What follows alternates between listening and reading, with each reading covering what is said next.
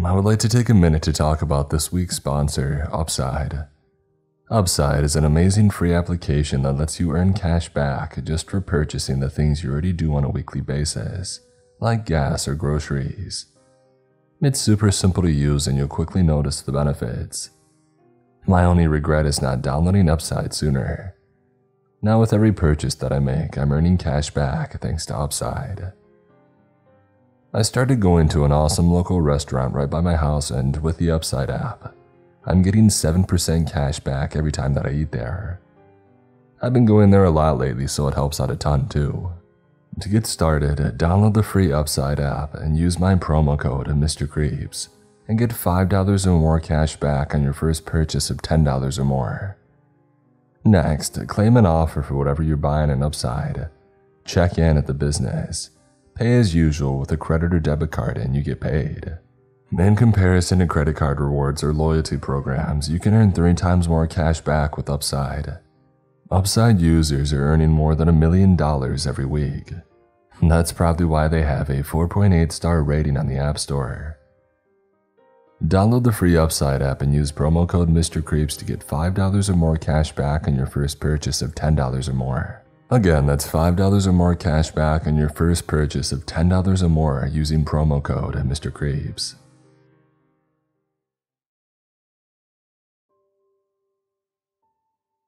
For over a decade, I'd been reliving the year 2005. Each year, a rotation as I call the passing of every 365 days the cycle begins anew. Same routines, same troubles in the news, same people around me. The rotations don't begin on January 1st like you might be expecting, but instead on Christmas Day just before midnight. That was the night that I performed the ritual for the creature, Mr. Morgenstern. For a decade or more, I've kept up my end of the bargain with Mr. Morgenstern but for some reason, this last rotation, this last Christmas, something went wrong. If you haven't guessed already, it was my wish that this limbo of 2005 repeat itself, for reasons that I'll get into later. I will say now that I had no choice. I had to do it. It was the best thing for everyone. Don't mistake this for a confession. I'm not confessing. I am not seeking forgiveness for what I've done nor am I repenting.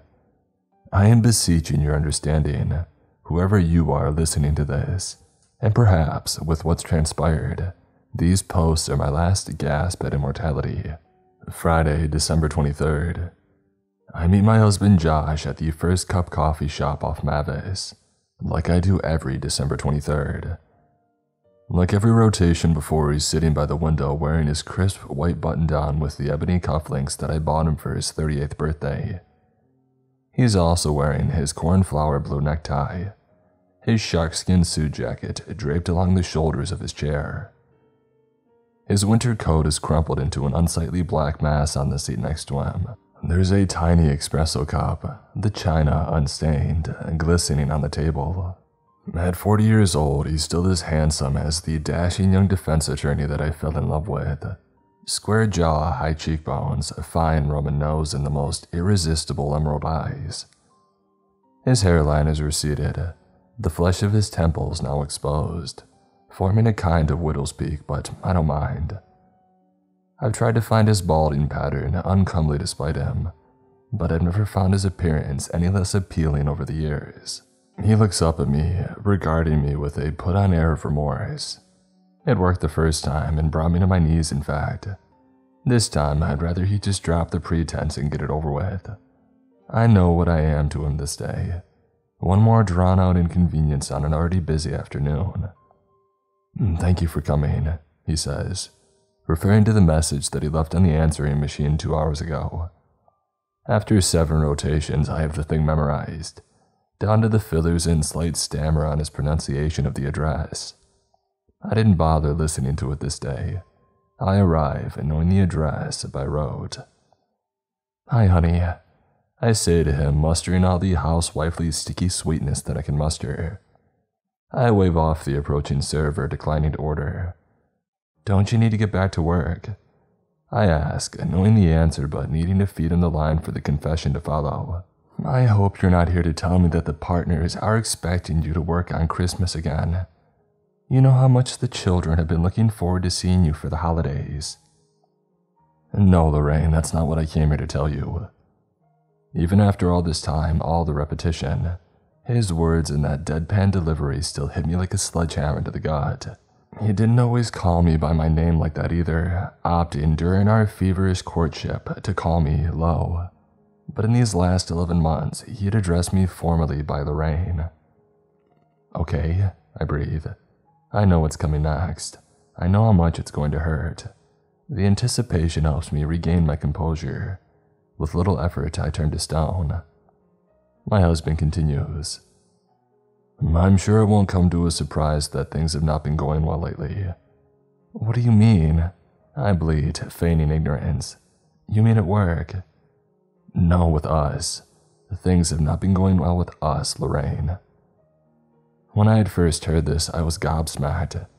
I genuinely believed that this year had been the happiest time we had been since getting married. For the first few rotations, I thought that he was lying, trying to make himself feel less guilty about what he was asking of me. But during these last couple rotations, I've started noticing what he meant. What? I asked, trying to sound overwhelmed. What are you talking about? The fights, the nagging, the long days at work, the almost nightly binge drinking, the lack of sex. His frail mask of remorse had dissipated, his eyes souring with agitation, and impatience. Lorraine, he huffs. There's no easy way of saying this. He stops, as though giving me a chance to absorb and anticipate what's next. Truth is, I'm already bored. I'm leaving. You're leaving. I speak as though stating a fact. I'm leaving you. I want a divorce. I feel my heart lurch in my chest. Divorce, what an ugly word.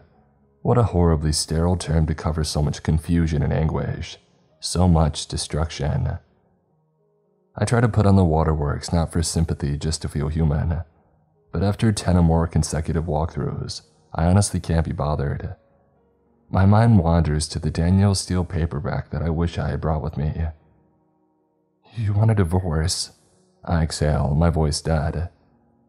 He stares at me for a beat before his eyes flutter and his face scrunches with faint bemusement. This isn't the reaction that he had expected. It isn't the hysterical one that he got 10 rotations ago. Yeah, he says carefully. That's right. I anticipate his next line of dialogue. After hearing it so many times, I've realized that he's rehearsed what to say. For a fleeting second, I amuse myself by imagining him practicing in one of the mirrors in the bathrooms at work, ducking every time he hears someone coming in to use the can. I know that Mr. Morgenstern wouldn't approve, but I can't help myself from what happens next. Look, he continues, plowing forward. I love. You and the kids, I interrupt, reciting his lines back to him. It's just that I don't feel like living together is our best option anymore. Josh tilts his head, clearly confused. That's right, he utters, sounding almost like he's asking a question. Well, I sigh half heartedly, returning to the script. Would you consider seeing a marriage counselor for Tobias and Jennifer's sake? Look, he snaps like he always does, my lips moving in sync with his. I've met someone, someone, who I'm serious about, someone who makes me feel alive again, someone I want to spend the rest of my life with. I roll my eyes and wiggle my fingers in the air as I mimic him. I then signal the server. I've decided that I do need a coffee after all. That's freaky, he says, his brow knitted, his eyelashes butterfly wings. I just got deja vu. How, how did you know I was going to say all that? Ignoring him, I order a large dark roast to go. Lorraine, he says in a whisper, have we had this conversation before? I look deep into his eyes, seeing the genuine confusion on his face. There's the slightest glimmer of fear, or mortification, unable to resist, the sadistic pull too strong. I take it a step further. Is it that cute brunette that you've got? That receptionist just out of high school? The one with the nice rack and the mile long legs? I notice his fingers, which are air typing like they always do when he gets nervous. The cufflinks catch my eye again. My neck bristles. I bet he doesn't even remember it was I who had gifted them to him, just like he doesn't remember his precious study at our house. His hallowed man cave all but boarded up now. His desk, bowling trophies, and football memorabilia collecting dust. I had always kept it clean but let it rot these past three rotations. Are we about done here? I ask, unable to hold my disgust. Wait a minute, Josh snaps, almost lunging across the table. My coffee arrives in a paper cup and I begin slipping on my coat. Wait a minute, Lo. Have you been spying on me? I let out a haughty little laugh. Oh, don't flatter yourself, Joshua. You're not that hard to read. D did you hire a PI or something? It's hard not to hate my husband at this moment. To not remind him like I had over 10 years ago, through my tears that I quit my job, despite being on the short list for assistant to prosecutor quitting so there would be no conflict with him and his law practice. So he wouldn't feel emasculated since for a while I was making more money than he was. But he would inevitably fire back with the truth. I quit my job because I always wanted a family. Before turning to leave, I remember to say the last part of the script. Listen, Joshua, please come for the weekend at least. I think Tobias and Jennifer deserve one last Christmas with their family unperturbed by the harshness of real life. And please don't mention this, not until after the holidays. Typically, his response is a begrudging acceptance, a reluctant acquiescence. This time, he stares up wallowed at me, as if not hearing or understanding. After a moment, he confirms that he understands with a slow, pendulous nod. I exit the little coffee shop. Once inside my SUV, I rummage in my plush winter coat for my keys, finding my cell phone instead. It's lit, indicating a missed call or a message. I flip it open, seeing a voice message from Simcoe Elementary, Tobias and Jennifer School. I listen to it, hearing a tinny voice requesting that I come to pick up my daughter immediately. Well, this is new. Having turned the engine over, I peel out of the strip mall parking lot and ease onto Mavis before driving west on Winston Churchill. I arrive at Simcoe around 1, just two hours before the students are to be dismissed for the break. Inside it's boiling, the heat cranked up to stave off the Canadian element howling outside. The last time that I was here was for a painful parent teacher interview. Don't get the wrong idea, my kids are smart and their grades are fine and they're no more poorly behaved than any other juveniles their age. In fact, they're more mature and better behaved than most. I wouldn't hesitate to even call them brilliant.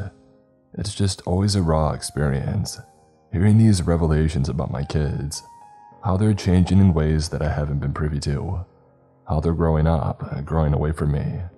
I sign in at the reception desk, get my visitor's sticker, and then proceed to the adjacent hallway. My daughter Jennifer is sitting in a metal armchair facing the open door of the principal's office. The principal, Mrs. Park, a pretty stout Asian woman, in a muted pantsuit, is standing over her. Mrs. Park and I meet eyes wordlessly. I bend down and reach for my daughter's impish face. It's a pretty face, somewhat boyish, with red freckles and her father's brilliant green eyes. Besides the eyes and her close haircut, she looks just like I did at her age. Her forehead is damp and her short chestnut mop matted as though she had been sweating.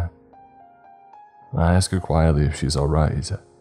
She looks up at me with a cold, emotionless stare. Thank you for coming, Mrs. Claiborne, says Mrs. Park. I take a moment to push a damp errant strand behind my daughter's ear before acknowledging the principal. What happened? I asked. Perhaps we should discuss this in my office, she replies guardedly, requesting a private conversation out of my daughter's earshot. I don't see why not. I follow her into the office and she shuts the door behind me. Mrs. Park's office is different from the rest of the school, including the narrow hallway in which my daughter is waiting. The walls aren't festooned with colorful paper cutouts of cartoon animals or balloon letters and fractions. No framed motivational posters either. Besides a six foot tall bookcase and a shabby black desk, Mrs. Park's office is as drab and empty as my husband's study, complete with a few bowling trophies. Something happened with my daughter, I ask, easing myself into a chair. Eyes downcast, Mrs. Park nods and sits behind the pine desk. Yes, as you may know, we tend to perform a biannual cleanup of the school, one before winter break and again before the summer holiday. This includes cleaning out the lockers of the grade 7s and the grade 8s, like your daughter Jennifer. To be perfectly honest, this is our school's way of having a sweep of all the lockers, to inspect them all at once. Yes? Her lips purse into a thin line. She then bends sideways, reaching below the desk. She places the following items before me a roll of duct tape, a pair of black leather gloves, a pair of MMA style protective gloves, a coil of hemp rope, a book on wilderness survival, a book on self defense, and various knives and blades, some of which looked to be home fashioned. These were all found inside Jennifer's locker this morning. A wave of relief washes over me, so that's where she's hidden in this rotation. She tried to hide them by opening and closing her locker very quickly, telling us that she had already cleared it out. My god, I gasp, putting on the act. It has to seem like this is news to me. We've had our school counselor and psychologist speak with Jennifer.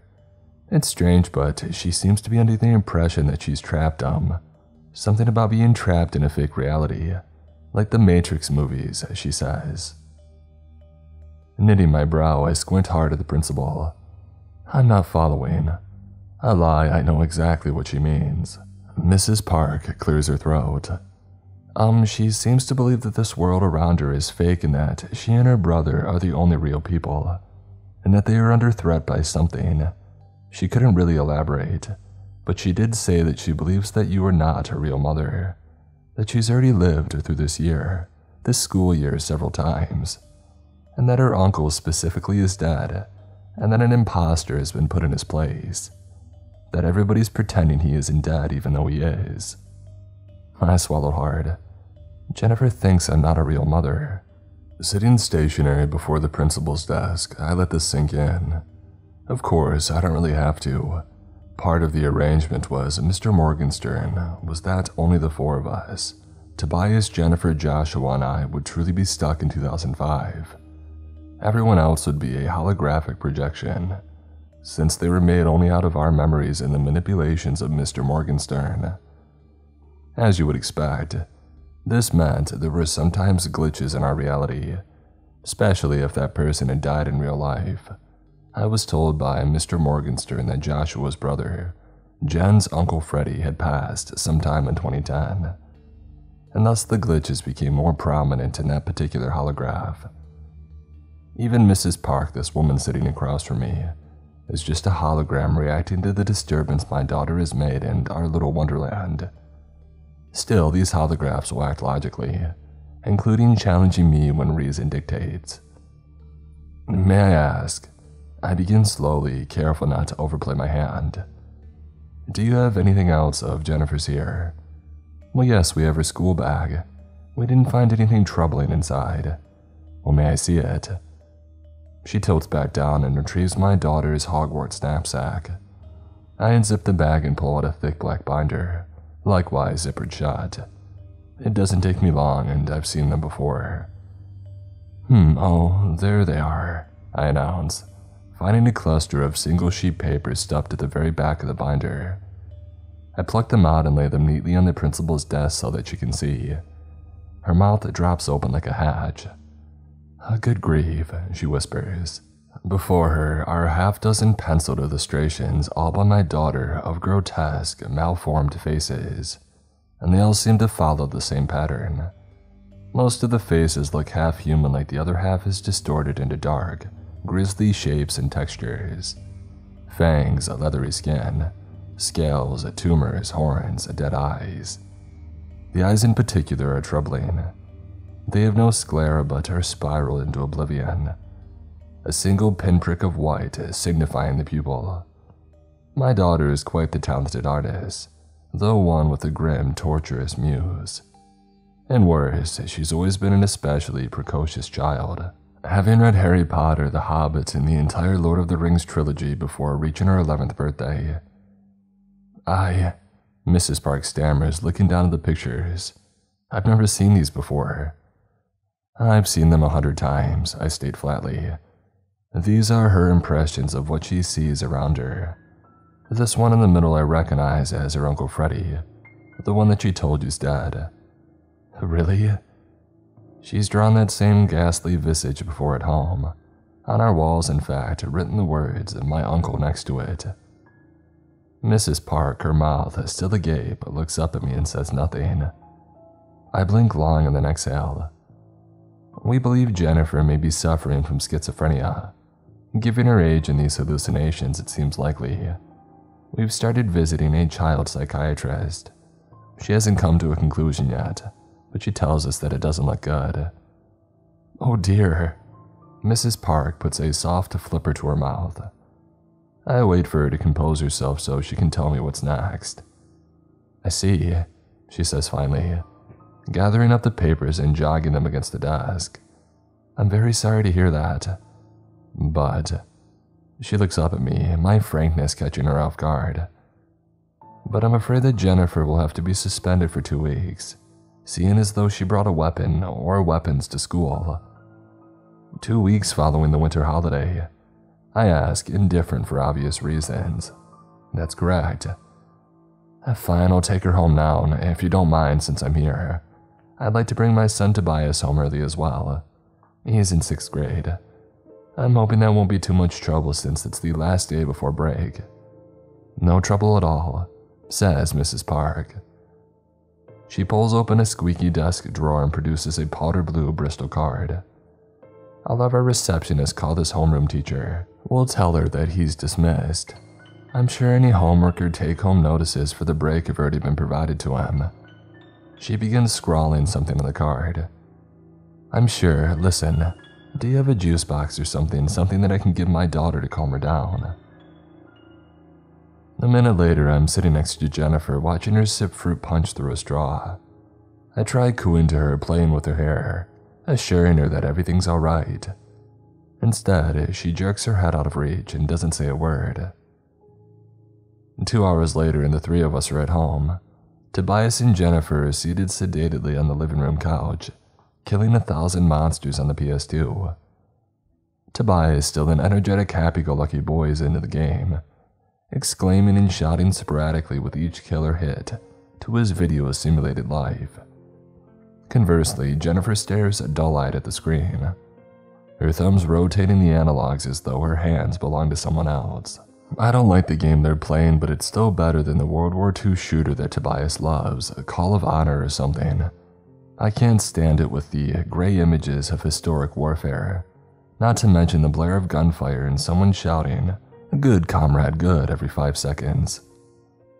On the few occasions that he's home, Joshua especially loses his temper at Tobias, her playing with the volume too loud. I've always wished that Joshua wasn't so harsh with his son, Tobias being a spitting bee gangling image of his father. Still, a few hours from dinner and Josh's hopeful arrival, I sink deep into the kitchen, hiding behind the inane sounds of my soap opera trilling from the mini TV. I have a pot of pasta on the stove. The pasta is something quick for dinner. I still need to prepare the mashed potato casserole and stuffing for the big day. Once I'm sure that no one's listening, I take out my phone and dial Mr. Morgenstern's office. Morgenstern Legion and Associates, blares the creature, his put on a smarmy voice plowing through their company slogan, telegraphing it through the receiver. We sell dreams by the skyfall. It's me. Oh, hello, Mrs. Claiborne, he says, his voice glib and patronizing. How are Josh and the kids? Pretty crap, actually. I'm sorry to hear that. Joshua's still trying to leave me. Well, Mrs. Claiborne, I can only hypnotize Joshua into accepting this faux reality. It's your job to bewitch him into loving you. I'm sure a woman of your impeccable charm can handle that. That's not all. My daughter just got suspended from school. I thought they'd go on holiday soon. Well, they're on holiday now. So what's the problem then? They found a knife and rope and all kinds of paranoid crazy stuff in her locker. Huh, so she hid it all at the school this time. Jesus Christ, Morgenstern. The deal was that they wouldn't know that we were repeating the year, that things would be like they always were. Listen, Lorraine, baby, I told you over 10 rotations ago. This reality has hypnotic effects on those inside it, even you, but they're not put under amnesia. In the end, the marks have to believe that the world is as they see it and as they're told it is. There's no guarantee that some won't bug. It's up to you to keep up the facade. But what about my daughter, my sweet precious Jennifer? She's gone from that sweet, sweet little girl to a paranoid nut job. She thinks that I'm not even a real mother. Look, what can I say? Just spend some mother daughter time together and give her some parental advice. I don't know. It's those glitches, especially the ones that occur when our Uncle Freddy is around. That holograph keeps morphing, and what we see beyond it scares the daylights out of everybody. Look, okay, okay, relax. I'll see what I can do next rotation. Just make sure that you go through the ritual the night after tomorrow. Just uh, don't blow your stack like this in anyone's earshot. We wouldn't want the facade to break down any more than it has. Oh, and one more thing, you haven't had any strangers come talk to you lately, have you? Strangers, what do you mean? You know, strangers, people you don't know. People who maybe don't seem like the typical holographs. No, no one like that. Why? Oh, good, good, just keep it that way, alright. Go through with the ritual on Sunday and don't talk to anybody who shouldn't be there. Lots of luck. Saturday, December 24th. I know now that I never should have let them in. I knew at the time that I didn't have to. My ego just gets away from me sometimes, I suppose. After all, what do I have to hide? Jennifer and Tobias are tobogganing at the hill near our house. My husband Joshua is God knows where. When I hear the front doorbell ring, I'm busy vacuuming, getting the house ready for Christmas dinner when I hear it. At first, I assume that it's a salesman, or maybe a Jehovah's Witness. Regardless, I put the vacuum aside and I go to answer it.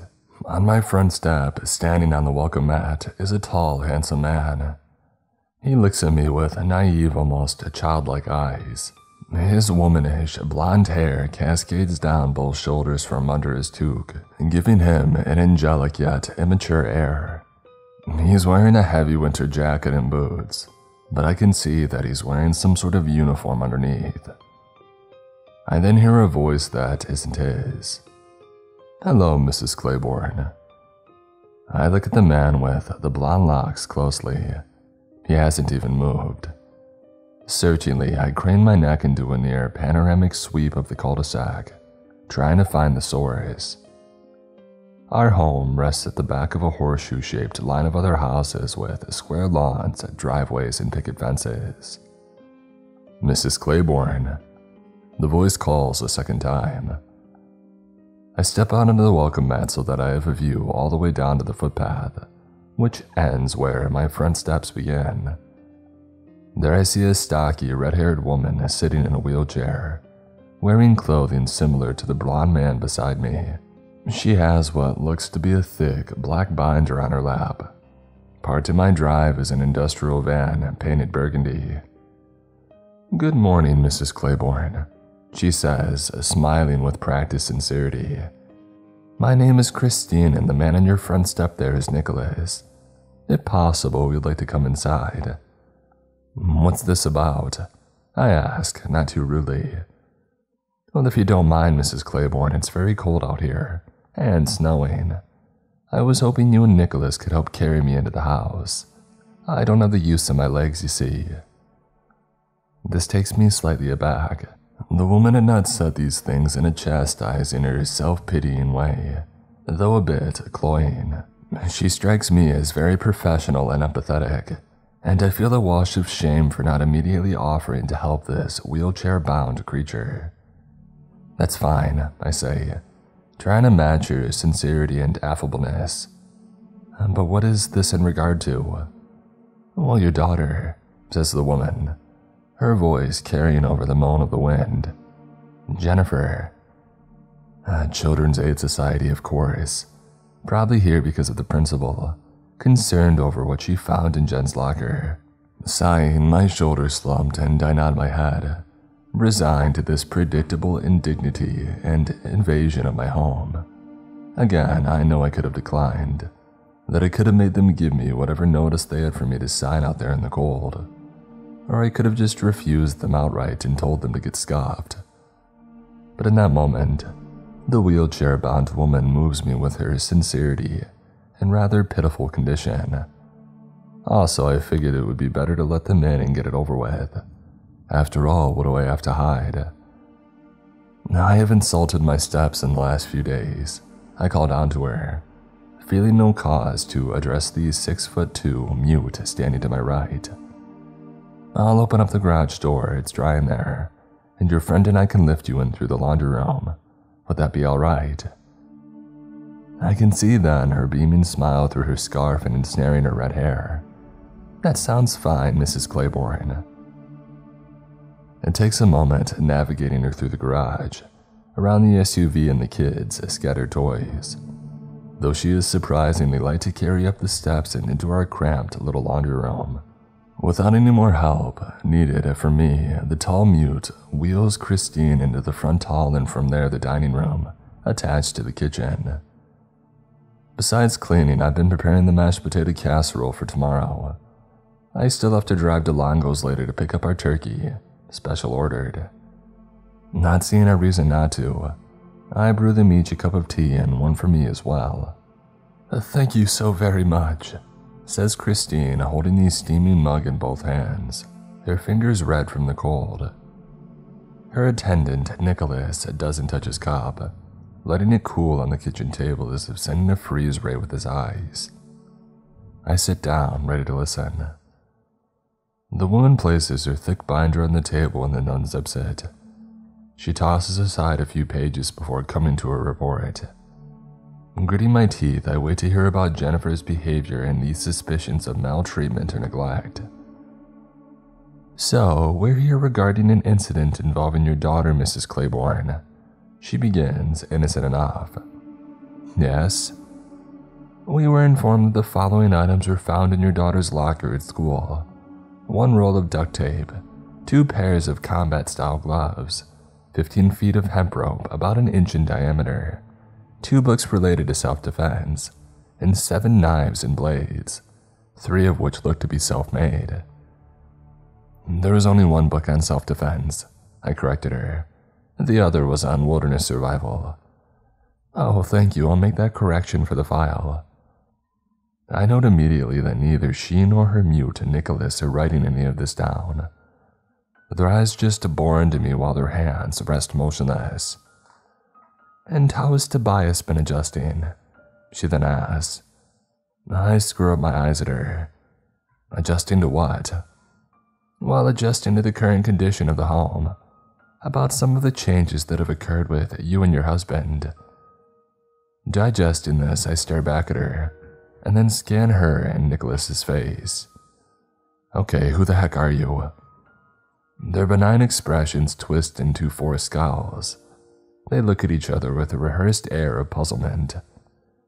I'm sorry, Mrs. Claiborne, Christine asks, keeping up the candied enthusiasm. I thought you were CPS, but that's obviously not the case. What do you mean? says Christine, shaking her head with too much force. Of course, we're from Children's Aid Society. If you were CPS investigators or social workers, you would have immediately asked to speak with Jennifer, or at least asked where she was. The mock confusion on her face wilts, leaving only blank recognition. She's not contrite but ready to get serious. There's also no way you would have any idea about me and my husband. I carry on. There's never been an incident related to us reported before, and trust me, I would know if someone was going to make an allegation about us and our relationship. So, who the heck are you two? When Christine speaks again, her face is etched in stone, her voice backed with steel. Do you really think the arrangement you made with Morgenstern is fair, Lorraine? It's now my turn to play dumb. What? I ask scrunching up my nose for effect, wobbling my head from side to side. Do you really think it's fair to Jennifer and Tobias, Your children or your husband Joshua, for that matter. And are you even happy here, in this contrived limbo, or purgatory that you willfully confine yourself to? I don't know what you're talking about. I lie. You know exactly what I'm talking about. Slumping back in my wicker chair, I send darts their way with my eyes. If you understood my reasoning, you wouldn't be asking if it was fair. And what is your reasoning? I scoff. Oh, you wouldn't get it. Try me. I don't respond. What's the point? She's only trying to bait me. I look down at my chai tea and can no longer see steam coming off it. Feeling how cold the ceramic is gone, I pick up my mug and stand from the table, my vocation the sink. I toss the iced fluid and give them my bag, waiting for them to vacate my home. We're not here to change anything, Lorraine. I hear Christine's voice. What's going to happen has already been put in motion. We're just hoping to avoid any needless violence. I spin on her, my face hot and contorted. What the heck does that mean? I thunder. She says nothing. Again, I look down the cast iron basin by my waist waiting for them to be gone. We cannot save you, Lorraine, she says. No one can. But maybe we can save Tobias and Jennifer. Isn't that what you want? Isn't that what any good parent would want for their children? A tremor courses my spine. I grip the counter ledge, my knuckles white. Get out of my house. I don't hear them get up. I don't hear the squeal of rubber over the linoleum or the creaking of footsteps. When I look back at the dinner table, both of them are gone, vanished like into thin air. The only indication of their ever being here is the cups of tea, which are now like ice, almost freezing to the touch. Near livid, I grab the vacuum and begin cleaning ferociously around the house.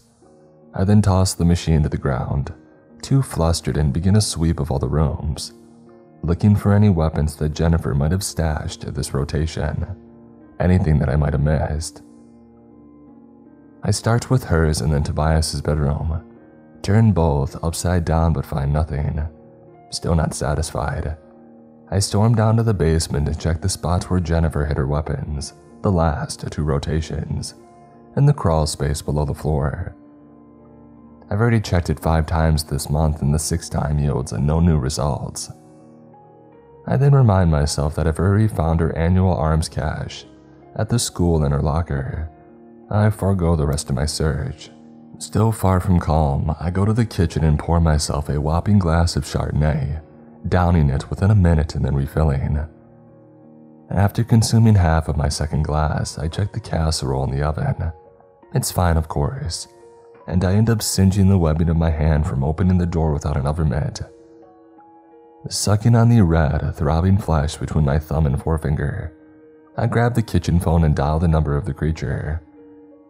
Morgenstern Legion and Associates. His voice blasts from the receiver. If we can't. Morgenstern. I cut him off, my voice sounding like I've been chewing glass. Mentally, I recite my prepared ultimatum. After tomorrow, you better have fixed this dang trance and gotten my family back to normal. I swear to God, you will not like what happens if I'm dissatisfied in the next rotation. I try to work up the nerve to say this out loud, to curse him over the phone, but instead, my voice catches in my throat and I just croak and sputter like an idiot. Hello, Mrs. Claiborne, says the creature after a minute. I place the receiver back on its hook, ending the call.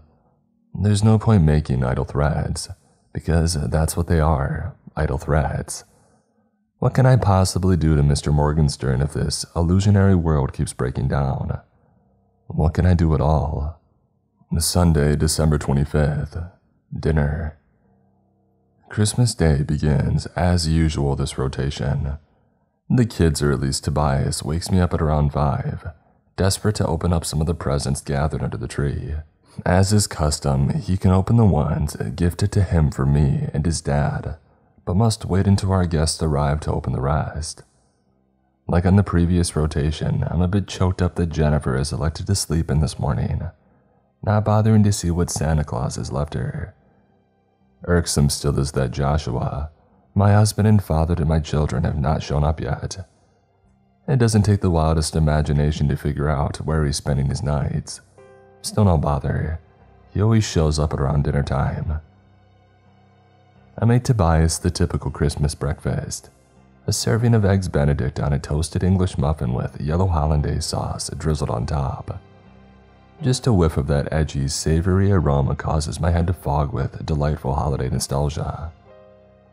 I make a plate for myself beside a cup of black coffee and a third serving for Jennifer, which ends up going cold before being slung into the wastebasket. For the actual dinner party, I have everything that I need. I've made all the desserts four days prior, baked the potato casserole yesterday, chopped up all the veggies and made the stuffing. All I need to do is pop the turkey in the oven. I grit my teeth and sulk a bit, figuring that Josh won't show up in time to carve the gosh dang bird. While waiting for the entree to cook, I while away the hours in the kitchen, reading a John Grisham novel. By five in the evening, everybody has arrived. My mother, my father, Joshua's parents, Edna Claiborne, Nee Walsh, and the glitchy hologram that now makes up my husband's brother Freddie, and a half dozen more of my cousins, nieces, and nephews. Everyone who is supposed to be here has arrived. Everyone except for my husband. This is odd. He is usually late, yes, but he always makes it in time for dinner. Every rotation. Uh, this isn't good. Everybody asks where he's at, even Freddie. And I plaster on a glowy, rictus smile and assure them that he must have just got caught up at work. The back of my neck nettled like a growling Doberman, knowing that he's likely with that girl. Painfully, I keep my chin up the rest of the meal and carry on during dessert and coffee like I always do. I regale my dinner guests about my darling children, bragging while simultaneously making small complaints about them, even while Jennifer and Tobias are sending optical arrows my way. I know patronizing, but this is what all young children must endure until they marry and have families of their own. Truth is, it's all an act this year, all I can think about is what I'm going to do if Joshua doesn't show before midnight, and how I'll find him if I need to. The temptation to call Morgenstern is there, but I know that he won't help. This is my end of the bargain, my responsibility. By 8:30, most of our guests had piled out into their cars, ready to brave the snowy December night on their journeys back home. Joshua's parents are the first to leave, disappointed their son couldn't be there followed by Edna and the thing that has replaced Freddie. Before leaving, Freddie takes a moment to speak to me about his brother. It's a battle on my part not to recoil from him. The flashing glimpses of his true form revealing a figure both malignant and misshapen. Recalling old photographs of the Elephant Man. I don't retain a word of what he says. Behind my agonizing smile, I'm estimating where to find Joshua and how quickly to do it. If he's at work, it would only take about an hour, maybe more given the bad weather. If he's with the girl, that could take longer. I would have to take care of Tobias and Jennifer first in that case. Yeah, it's best to get those two out of the way. By 10 o'clock, the guests are all gone. I've changed out of my dinner dress and into some comfy house clothes. Despite my fears that she would resist, Jennifer agrees to sit down with Tobias on the living room couch and complete one of our annual rituals watching old movies on the TV. It's a little too early for the televised rendition of A Christmas Carol, starring Alastair Sim, so I put on a burnt DVD from my favorite VHS, the classic comedy short Dinner for One. More of a New Year's Eve tradition, I know, but my family is Norwegian, and I just can't resist the sweet little comedy. As Heinz Piper introduces the sketch in his regal German, the sentimental old-timey music filling her home, I retreat into the kitchen and grab two of my children's favorite mugs. Frosty the Snowman for Jennifer and Rudolph the Red-Nosed Reindeer for Tobias. I pluck the rubber gloves from the lip of the sink and fit them over my hands before putting on a blue paper mask. I'm now ready to reach into the cupboard under the sink and retrieve the vial of cyanide. I have done it now at least 10 times and it's pretty easy. Just to drop in the bottom of both cups and then the cocoa powder, and then hot water and then stir. I know better than to carry the mugs to my kids, too much risk of exposure. I don't want to kill myself before it's my time. But this year, I wait to do any of that, to even unscrew the cap from the vial of poison. My husband is still not arrived. It won't do anything if he isn't here too. And worse, what if he arrives and finds the children dead? Will he presume that they're asleep? Not if he catches them in their last agonizing spasms for life. No, I need to deal with these two and then I can worry about Josh. And if I need to brave the night's howling gale to find him, well, then so be it. As though answering my prayers, a white light crosses the kitchen via the window, indicating a vehicle entering our cul de sac. I look out the window and see Josh's 95 Lincoln Town Car. It lurches up the drive, the front driver's seat side wheel rolling over the lawn and sinking into the snow. He's drunk. Hastily, I unscrew the cap of the vial and drip the poison into both mugs and pour the chocolate mix, and I stir the hot water. Tobias, Jennifer, come get your hot cocoa. It's on the kitchen counter. I call to them, making sure to put some distance between myself and the spiked beverages before removing my mask. I had already given Josh's decanter a boost hours ago. A triple whiskey neat, being his Yuletide tradition while vegging out with the kids. I'm still wearing rubber gloves when I hear my husband stumbling against the front door. Jogging toward it, I witness the door rip open. My husband standing slantwise, still clutching the brass knob, an eddy of snow preceding him. With his disheveled trench coat and hair damply dotted white, he looks like a euphoric Jimmy Stewart at the end of It's a Wonderful Life. As I had suspected, he is drunk, but still, this is all very new. Merry Christmas, Lo, he says, his voice an octave too loud. Despite the weather, I can see that he's flushed and sweaty. His eye looks like a pea swimming in a tiny saucer of buttermilk. Without closing the door, he leans in and embraces me. I'm too stunned to reciprocate. This hasn't happened before, neither before nor during the rotations. Feeling the brush of his 10 o'clock stubble against my cheek, I smell the sour smoke of scotch through his pores. And then he whispers into my ear, I ended it. I almost didn't hear him. The bludgeoning repetition of the same disappointment year after year hardening me to any sliver of hope. He then pulls back, although he's still crushing me, and his nose is a mere inch from mine. Did you hear me? he asks, his whiskey laced breath crinkling my nose. I ended it. I'm done with that woman. All I want is you, Lo. All I want is you. Breathless, I feel my heart punch its way through my ribcage. My throat constricts and my eyes turn damp no longer bothered by Josh's single malt halitosis. I lean in and kiss him hard in the mouth. He reciprocates, and for a fleeting moment, we just stand there in the gusty doorway, swapping spit like teenagers. Remembering myself, I pull back, knowing that the ritual is not complete. I think we both need a drink. I whisper into his collarbone, trying to you to what must be done. I then feel him pull away from me, are you kidding? He remarks, knitting his brow, a sloppy smirk curling his cheek. I'm well into the bag, though. The last thing I need is a pick me up. No, what I need is my wife on top of me. The front door slams shut, and I can feel his strong arms begin to pull me into the house. My mind races to plan B and I grab my handbag from the coat rack. You don't perform the same ritual every year and not have a backup when things go sideways. The first time, nothing went according to plan and it all ended very messily. Josh doesn't notice me carrying a purse as he drunkenly dance walks me across the shoe mat and into the front hallway. I notice but don't register that Tobias is the only one planted in front of the TV as we pass. Where's Jennifer? Figuring that he won't make it up the stairs in his condition, I opt to lead him into his all but shuttered study. The children surely won't hear us in there. Inside the room is pitch dark, musty, and dry. It smells of mothballs and old yellowing paper. Before I know what's happening, Josh has his trousers around his ankles and has me propped up, spread eagle on the desk. I let him yank down my black tights and underwear as we kiss and grope feverishly.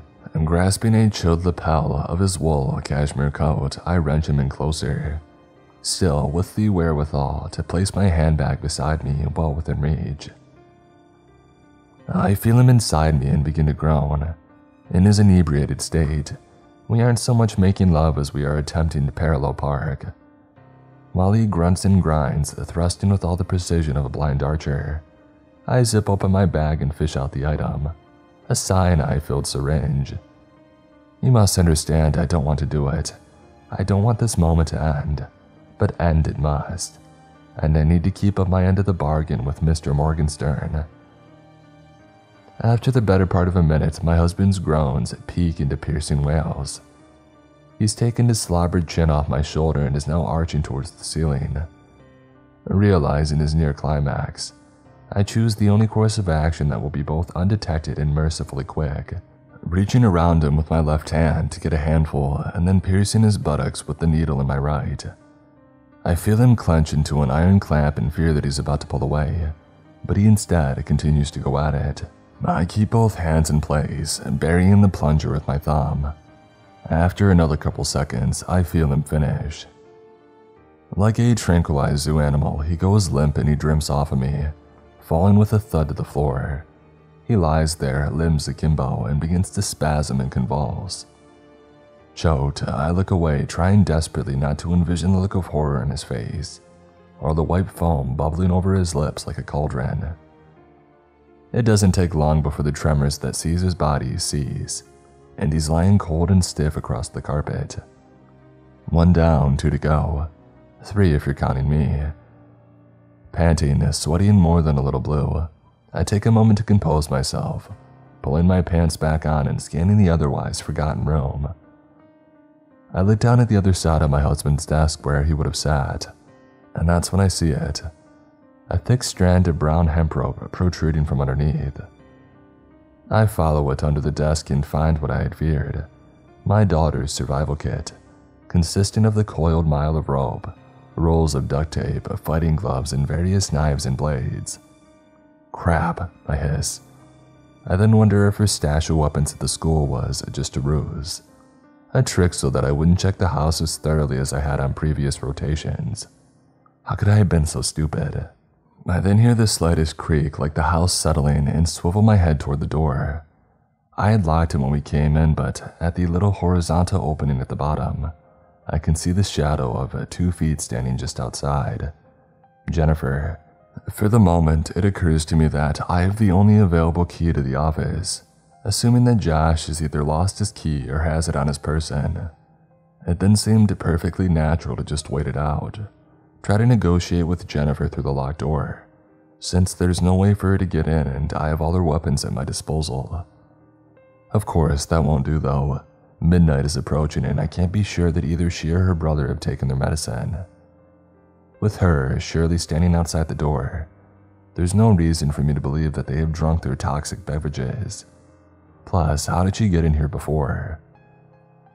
Swallowing my instinct for motherly love and my desire to hunker down, I take up one of the blades, a serrated steel hunter's knife, from under the desk and creep toward the door. In one swift movement, I unlock the door and wrench it open. As I had suspected, my daughter tries to sprint past me, charging for her stash, but she doesn't get too far. Having anticipated this move, I kick my foot in front of her path and send her diving to the floor. Landing on her belly and the heels of her hands, she lets out a gasp before rolling over onto her back. Her belly exposed to me like the neck of a wildebeest to a lion. I sink down next to her one hand out to soothe her while the other holds ready the knife. Shh, it's all right, sweetheart. I croon, drawing nearer. Her tears and gasp for air are like pins in my heart. But regardless, I must be strong. It's just like when you were little and you fell down and scraped your knee. Mama's gonna kiss the boo boo and make it all better. As though she had been playing possum, Jennifer grabs a hold of my wrist and then presses a forearm into my elbow before rolling over onto her belly and putting all her weight down on my arm. I squeal both in shock and pain as I feel her drive me down into the carpet, like a wrestler on TV. She doesn't keep me down for long now. I mean, how could she? her being 5 foot nothing and weighing 90 pounds soaking wet. A scuffle, a real Donnybrook breaks out, the two of us biting, scratching, tearing at each other's hair. I mostly dominate, able to almost stand back up while Jennifer latches onto me like a giant flailing barnacle. Her nails dig and pry at my wrist, trying to get to the knife, but I never relinquish it. After I can't say how long, I finally get squarely to my feet and with all my might, manage to hurl Jennifer off my shoulders, sending her crashing again to the floor, this time on her back. I hear her breath flee her body, knowing this time she really does have the wind knocked out of her. Not taking any chances, I stomp my foot heel first into her stomach and keep it there. She squirms and struggles with what strength she has left, but it isn't enough. I know that I have her. Two down almost, two more to go. Using my heel to keep her pinned, I find my balance and take aim at Jennifer's heart, raising the knife Michael Myers style. I hold it up high to get a good stabbing motion, but then I see something out of the tail of my eye. A blur of a human rushing towards me. It's Tobias, and he's carrying something that I can't make out. I turn too late. Tobias, no. Something long strikes me in the back of the head, the pain wrapping around my temple. Everything goes black. Sunday, December 25th, almost midnight. I wake, um, I don't know how many hours later. The back of my head is throbbing, ballooning, like from the most unimaginable hangover. The headache is the first thing that I notice. The second is the feeling of something coarse and constricting around my arms. I look down and discover that I am lashed to a chair, my arms are bound by rope and duct tape. I can't see them but can feel my ankles likewise as shackled to the chair legs. In front of me, I see my children, Jennifer and Tobias. They're looking down at me like executioners. It doesn't fully register at first, but Jennifer has something a wad of folded paper in her hand. I try to speak, but then think better of it. For whatever reason, they haven't duct taped my mouth shut. Instead of speaking, I take a moment to study each of their faces as best as I can through my understandably hazy vision.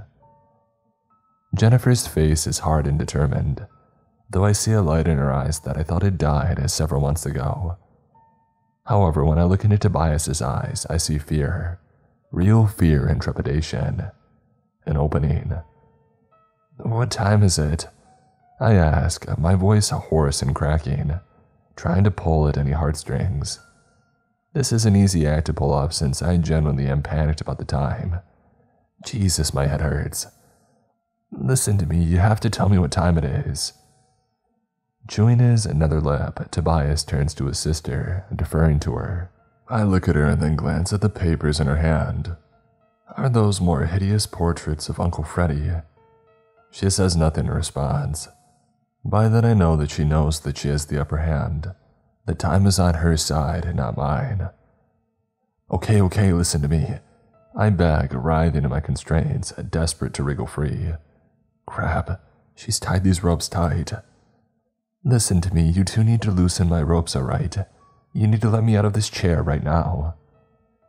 Jennifer doesn't stir, and then she says one word. Why? Right then, I get this unexpected sensation of deja vu.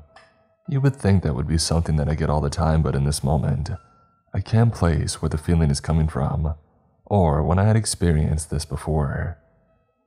Why? I bleat, still afraid and trying to play it up for sympathy.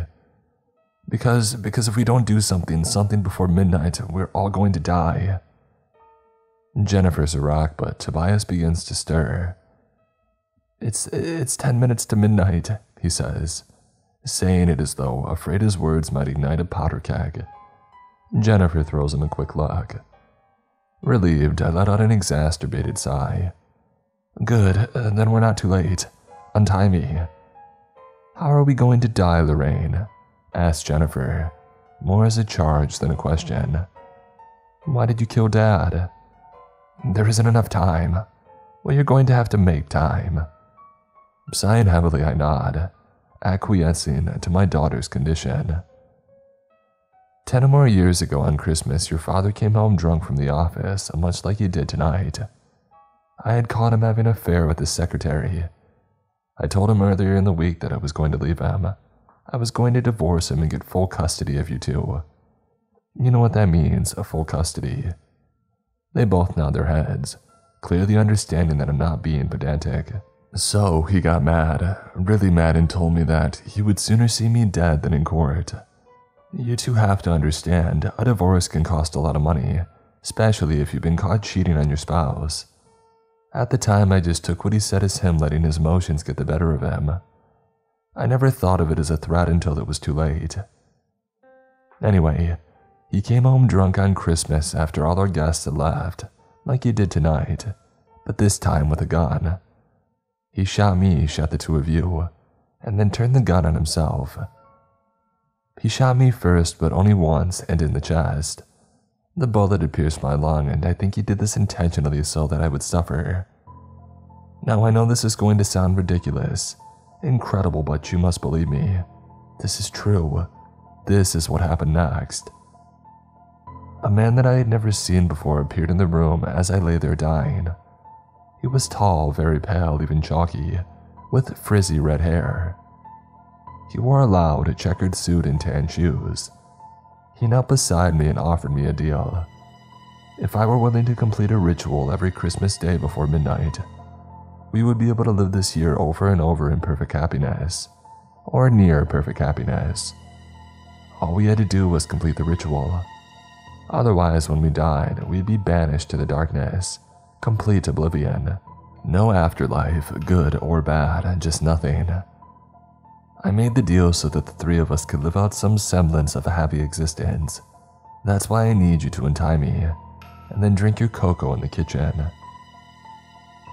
Silence permeates our home.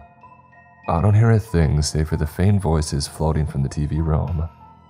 Knowing that I have to move this along, I venture a look up at my daughter, but she's unmoved. That's the same story that you told me before. Taken aback, I rock in my imprisoning chair. What did you just say? What kind of a gun did Dad use? Squinting, I shook my head. My face flushed. I don't know, I don't know anything about guns. But neither does Dad, Tobias chimes in. Digesting this, I soon realize an oversight in my story. Tobias is obsessed with those shooter games, which have instilled in him an interest in warfare, even world history as well as firearms. His father had always hated guns, has always hated guns, and has never been shy proclaiming his hatred of them. Tobias, being the closest to Joshua, has probably observed this the most acutely. Of course, Joshua wouldn't use a gun. He wouldn't know how, let alone where to get one. Jennifer interrupts my internal dialogue. You told us this same made up story a few years or whatever ago, Lorraine. Or you told me Tobias here wouldn't listen to me the first time and was on your side. When you told me about it, I believed you because I snooped into Daddy's emails and found all the messages to that lady. Jennifer then stops to have a little laugh. Having an affair, she says, more to herself. That sounds like such an adult term, like a euphemism. That part of your story made sense. But then I did some research at the local library and found out that we have a no fault divorce law here in Ontario. So it doesn't matter that dad had an affair and you knew about it. So why would he kill us? Without the aid of the swelling goose egg, my brain is spinning. I've told her this before. Of course, I know Jennifer has tried to stop me in previous rotations, but I don't remember this kind of confrontation. I suppose since they're all the same, each rotation just blurred into one until Look, look, I stammer out, still not ready to throw in the towel. I don't know what was in your daddy's head. I just, I just. You're a lawyer, Jennifer interrupts, just like daddy. There's no way you told us that as an honest mistake. You killed us. You killed us all. No, I thunder, my turn to cut her off. I tried to save you, I tried to save all of you. Why can't you understand that? Why can't you appreciate how much I've sacrificed? How much of my career and my very life I gave up for you? How can you be so selfish? I gave up being an assistant prosecutor for the city. Do you even know what that means? I could have been the city prosecutor, which would have laid the entire city, the whole country at my feet. How can you be so cruel, so ungrateful? I gave you everything, everything. I don't need to pretend anymore. The waterworks have started and they are real. No longer feeling the expanding throb at the back of my head, I let my chin and my collarbone and weep. The agony rushing through my heart has stripped all fleshy wants from my body. And then I hear the worst possible sound, one that hasn't visited my ears in over a decade. Our grandfather clock, the one standing in our living room. It begins to ring the 12 consecutive chimes announcing the arrival of midnight. I'm too late. I failed to keep my end of the bargain. What would Mr. Morgenstern do to me and to us? The three of us just stand there wordless in the time it takes, the 12 consecutive bells punctuating my defeat with each resounding ring. My face wet with tears, I just stare mouth agape, miming a silent scream at my children. When it's over, Jennifer finally relieves me of her cindering stare. With a small sigh of her own, she instead looks down at the sheets of paper clutched in her tiny hands. Now you've done it, I hiss. I'm not trying to barter anymore, not trying to manipulate my children. I'm satisfied with taunting them, especially Tobias who stole on the fence. Now we'll be banished to the blackness, the darkness, to oblivion, and it's all your fault. I don't think so, Mom, says Jennifer, unfolding the pages. Her voice is soft, even sweet. I grow nostalgic, thinking of the untainted little girl that I had made this cursed bargain for in the first place. I think you should read these. She then places three pieces of printed paper fanned out so I can read what was written on them, on top of my thighs. There are news articles, one from the Toronto Star, one from the Toronto Sun, one is even from the New York Post. They are all from December 2005. The first headline that catches my eye reads Hideous murder in suburbia. Mother poisons son, stabs daughter, and causes daughter's death. A second reads Extended family baffled. This wasn't the low that we knew. A third Poison found on daughter and husband also. Original murder plot gone awry. After getting the picture, I stop reading and instead gawk at them, marveling at their existence. Where did you get these? I ask. Well, in the library at the university. Jennifer answers. No newspapers would have printed these. I found them in the microfiche. That's where you can find things that aren't a part of this world you made. Shooting her a cutting look, I search her face, trying to figure out the lie. How did you know how to look in the microfiche? How did you even know what that was? To this, Jennifer is silent, averting her eyes from mine. It then dawns on me. Someone told you. Somebody pointed this out to you. Probably even planted them there. Who was it? Mrs. Park, Uncle Freddie, Aunt Edna. Wait, no. It was that woman, wasn't it? That wheelchair woman, Christina or Christine or something. Her evasion confirms my suspicion. It was that interferer, that agitator who came to my house yesterday. That home wrecking crippled. Ugh. Her voice then dins inside my skull. What's going to happen has already been put in motion. We're going to leave now, Mommy. I hear Tobias's timid voice from somewhere in the room. I find him with a start, seeing that he's now holding one of Jennifer's blades. I don't want to leave you tied up, but we can't risk you attacking us. I'm going to cut the ropes around your arms, but not the ones around your legs. You should be able to untie those after we go. Please don't try anything after I cut you free. Please, Mommy. I don't say anything. There's nothing left to be said. I just sit there muttering to myself, feeling my constraints momentarily get tight and then loosen and release. I want to put up a fight. I want to reach up with my newly freed hands and tear my only son's eyes out from their sockets, and then make a wild grab for Jennifer. But I don't. There's no point to it. The truth is, I lost everything years ago. Mommy, I hear Tobias's voice a final time. Can I ask you something before we go? I don't respond. I don't even acknowledge hearing him, knowing the question that he wants to ask. Tobias doesn't say anything further. The question left unsaid. Staring off into space, I am barely conscious of the front door swinging open, followed by the whistling gale encroaching into my home before being banished by the door slamming shut. I then become aware of the unmistakable murmur of an engine belonging to a large vehicle, idling outside of our home. On inertia, I turn my head, twisting in the chair, trying to get a glimpse of our driveway via the window.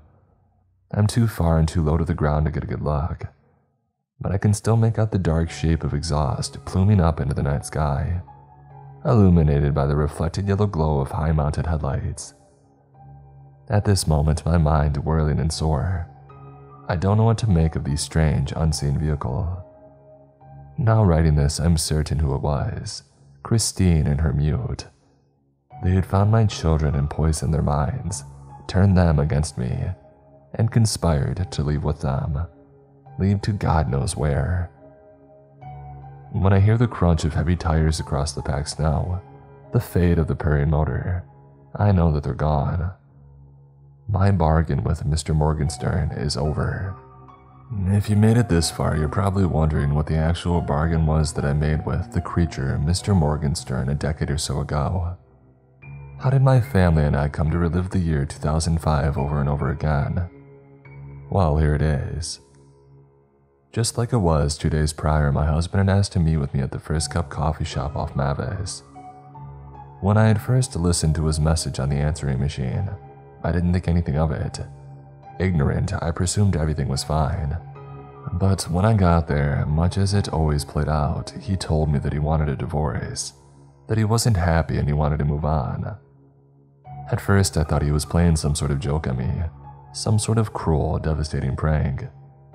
But soon I realized that he was being earnest, especially after he had mentioned that he had met someone else. I broke down and wept, unabashed despite being in a hardly uncrowded coffee shop. We went back and forth as you might expect, but Josh had made up his mind that it was over between us. We settled on an agreement that he would at least come for Christmas dinner and not tell the kids until after the holiday. That afternoon, I didn't go to Jennifer or Tobias' school to pick them up. They were still enraptured in the ignorant bliss of their adolescence, and I aimed to keep it that way.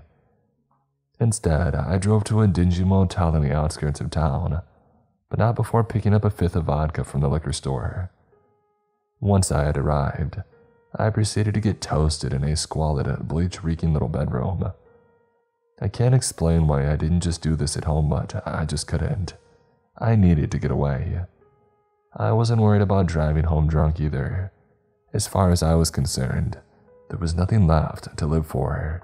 It was in that gloomy green room that I realized it wasn't just Josh that I was going to lose, but I was going to lose my children.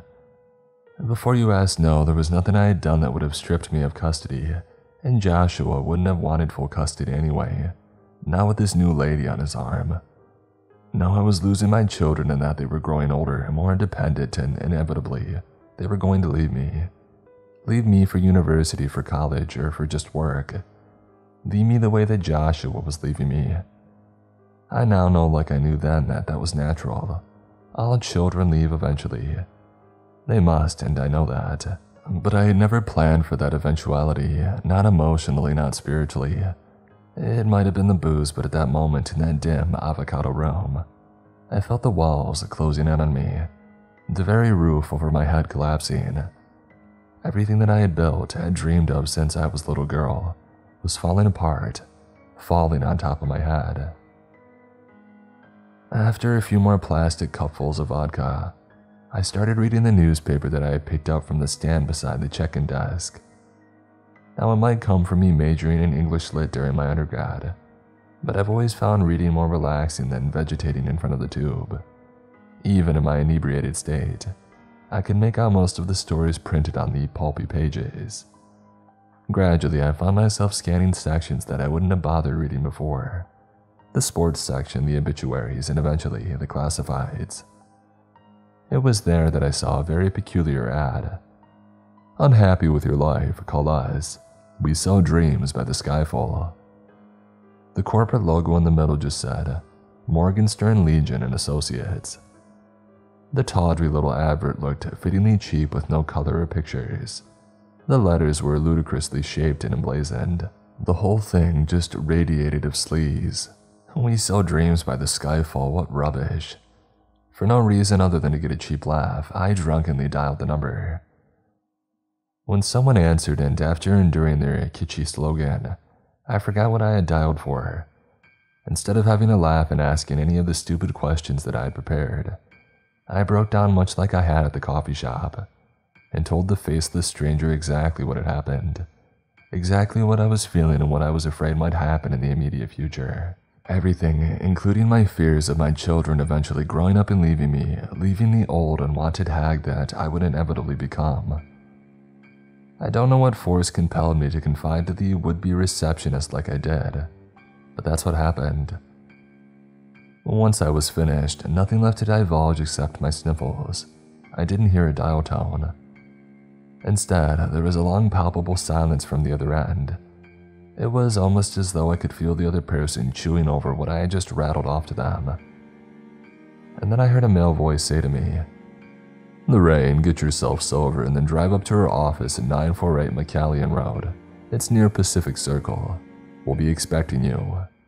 It was dark out by the time that I had managed to get a solid enough grip on my sobriety to drive to the address. It was in an industrial area of town, lots of warehouses and body shops. Their office was a one story cinder block building, painted mustard, crammed on top of a small clearing in front of an ongoing construction site. It looked temporary and cheap, but the tall, luminescent windows, burning through the early dusk, it beckoned to me inside. A set of tinkling tin bells announced my arrival through the glass door. The room was devoid of life save for the percolating aquarium mounted next to the far wall. It didn't take long though before I heard footsteps approaching from the adjacent hallway. And that's when I first met the red-headed, used car salesman looking creature named Mr. Morgenstern. He greeted me by name and shook my hand, and then guided me to his desk. There was nothing otherworldly or even strange about his appearance. He wore a green and orange suit, which looked like it was made from the same material as the carpet in my motel room, with a yellow tie and a scuzzy pair of tan shoes. His cologne was sweet smelling, though he wore too much of it, no doubt to mask a lingering tobacco or whiskey odor. Even his voice was perfectly normal, though a bit high pitched for someone his size and age. He wasn't muscular or fat, but looked thick and durable, like a street lamp. I didn't need to learn anything about him. I could just sense from his presence that he wasn't human, and that he was evil. He pushed the obligatory box of Kleenex to my end of the desk and asked me one more time to relay what had happened and what my fears were. Dry eyed, I recited what Joshua had told me and my anxiety filled terrors of my children in the future. He listened without reacting, his hands forming a tent beside his plump liver colored lips. When I was done, he made his offer to me as plain as possible kill my immediate family and then myself on any day of the year of my choosing, and my family and I would relive that year in blissful ignorance for eternity. The method of killing wouldn't matter. I just had to make sure that I committed the act in the same day every rotation, and that I didn't let on to anyone that what they were experiencing was an illusion. Only my family and I would be the actual souls reliving the year on Loeb. Everyone else would be a projection of our memories and Morgenstern's manipulation. When I first heard his proposition, I of course balked. Kill my family so that we could live together for eternity. What kind of psycho stuff was that? Why should I believe anything that he said? He then asked me if I remembered a man named Francois Ouliette. I had, and it was a horrific story of an investor who had been driven to death from an unrecoverable debt. He had slain his wife and kids and then himself in a weekend. This had occurred in a city not far from ours in 2003, and it was reported on all the news networks for weeks. Mr. Morgenstern then rose from his desk and motioned for me to follow him down the hall from which he had come. It took me to a vast azure filing room where he pulled open a long metal drawer and proceeded to thumb through the tabs. His hand eventually landed on a single beige folder. He pulled out the manila file and he handed it to me. Inside was a series of black and white photographs and newspaper clippings. I inspected them and saw a familiar face Francois. He was smiling happy, surrounded by his equally contented family. The articles reported of his opulent lifestyle summer homes in the Bahamas, yachts, resorts. What was truly strange were the dates printed on each picture and article 2003 2005, 2010 2012. How was it possible? The man and his family were long dead, and it was still 2005. I gawked up at the creature and he stared back at me with hooded eyes and an undefined smile on his face. It took me a minute before I found my tongue. How do I know these are real? I asked in a breathy laugh. The obvious question. Of course, they could be fakes. Doctored photos and phony stories, but holding them in my hands, feeling the fantastic joy radiating from the paper, I knew they were the genuine article. I mean, they had to be. You don't know, honey bunch. Mr. Morgenstern answered, sliding the drawer back into place, his voice blunt and concrete. I could show you a million photographs and articles like those, and I could bore you into a coma with a thousand testimonials from other clients, now enjoying their blissful pockets of existence. But none of that matters in the end. You have to decide. Do you believe it? Are you willing to believe? I was. Uh, I was very willing and ready. I'd love to tell you that I waited a day or two before deciding to carry out the deed, agonizing over the mortality of what had to be done. But I didn't, not really. I didn't need any more goading or assurance. I only waited two days so as to prepare everything for that night, and so I could have one last Christmas dinner with my family, one that would last forever. So that was that. I settled on his proposition, and up until now, I have fulfilled my end of the agreement. He had never asked for anything in return, as though the limbo of 2005 was his payment for the gruesome act that I was to commit. Though I'm sure in some other ghastly way he made more than a handsome profit off the deal. For 10 or more years I've done this, living in near perfect harmony with my husband and children. That is until Jennifer got wise and had to ruin it. Now, let me address the eight ton elephant in the room. How could I do it? How could a mother do such a thing to her own children? Can anybody hearing this honestly say they wouldn't just jump at the opportunity to live forever with their loved ones? Can anyone say that if given the choice, they wouldn't repeat the same year, heck, the same day, if it was the one of their choosing? We all chase nostalgia, that perfect moment or opportunity long gone. We all know the pang of regret, and the nibbling power of fantasies of what could have been. Very few of us actually seek out the truth. Most of us are happy living out our own daily play acting, hoping that we project an image convincing enough to fool our relatives and neighbors. Oh, I know. I'm not answering your real question. How could I kill my own kids? Well, that part is simple. It was part of the bargain I made with Mr. Morgenstern to keep them for eternity, to keep them from ever growing up, from ever leaving me. But Lorraine, you protest. Why wouldn't you want them to grow up? Didn't you want to see them graduate from high school, from college? Didn't you want to attend your only daughter's wedding? These examples that you're mentally listing are my point exactly. We don't live for our kids' survival, we live for the moments.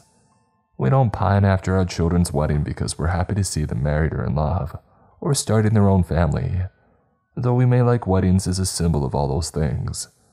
We only live for the moments. These moments that we ache to revisit and stay stuck in. That's why we take photographs, why we use camcorders. We don't want to progress or even get to the next exquisite moment. We want to preserve those moments and live them over again and again and again and again. And by the way, Tobias and Jennifer would inevitably have learned this pain themselves. In a way, I was sparing my children from these snowballing malaise of the years. Is that answer not sufficient for you? Maybe you need to sit on it for a day or two, then you'll see. Trust me, you'll know what I mean. Now, don't you dare judge me. Don't you dare tell me that I'm a bad mother. I didn't grow up in suburbia or even in the city. I grew up in a rural hamlet outside of Hamilton. My father was away three quarters of the year working the mines of the Canadian Shield, then working the power lines in every part of the country but the one that my brother and I lived in. My mother, a pinched, gaunt woman, raised me and my brothers like she had lost some monstrous bet. She believed in the adages children should be seen and not heard, and spare the rod to spoil the child.